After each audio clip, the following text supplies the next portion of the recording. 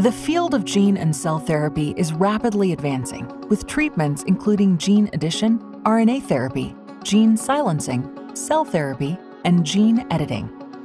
Some are already FDA approved and available at sites around the world to help specific patient populations, while others are being studied in clinical trials to see whether they are safe and effective at treating or preventing certain disorders.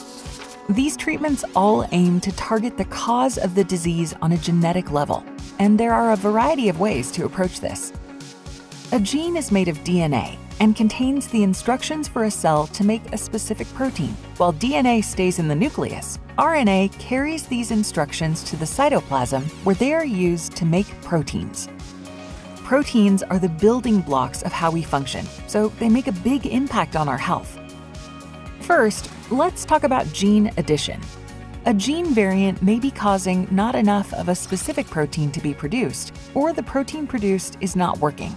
Gene addition adds in a properly working gene that has the instructions for the cell to make more of the specific protein. A vector, which is often a virus, delivers the working gene to the cell's nucleus. The viral genes are removed to ensure the vector cannot cause disease and are replaced with the working gene. Because the added therapeutic gene will then reside in the nucleus, it has a greater chance of being permanent and is only administered one time. Gene addition isn't the right approach for all disorders. Another approach that may be explored for treatment is RNA therapy. There are different types of RNA therapeutics because there are so many different ways that RNAs can affect cell functions.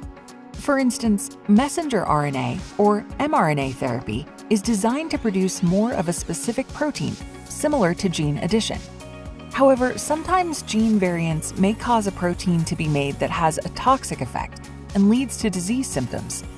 In these cases, microRNA, interfering RNA, or ASO therapy can be used to silence the faulty gene so the protein is not made.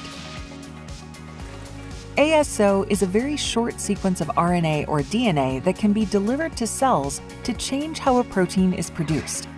These stay in the cell for a limited duration and may need repeated doses to maintain a therapeutic effect. Some RNA based therapies can be delivered using a viral vector.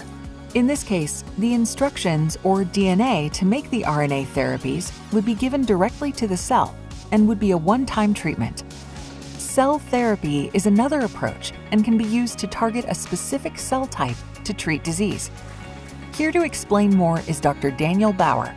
Cell therapies could be based on blood stem cells or immune cells for disorders like sickle cell anemia or certain forms of cancer. Many cell types have the potential to be modified. Depending on the type of cell therapy, the cells used may be from the person's own body or from a donor. Genetically modified cell therapy removes a person's own cells from the body. The removed cells are treated by adding the working gene or modifying the affected one. The treated cells are then returned to the body. This type of treatment combines components of gene and cell therapy. Since the cells are provided with the corrected genetic material, the therapy would likely be longer lasting and may be given one time. This is only a snapshot of all the ways gene therapy, RNA therapy, and cell therapy are being applied to help treat different disorders. There are decades of research that experts continue to build on, with new findings and developments happening every day. For more information on these different gene therapy approaches, or if you're curious about gene editing, please visit patienteducation.asgct.org.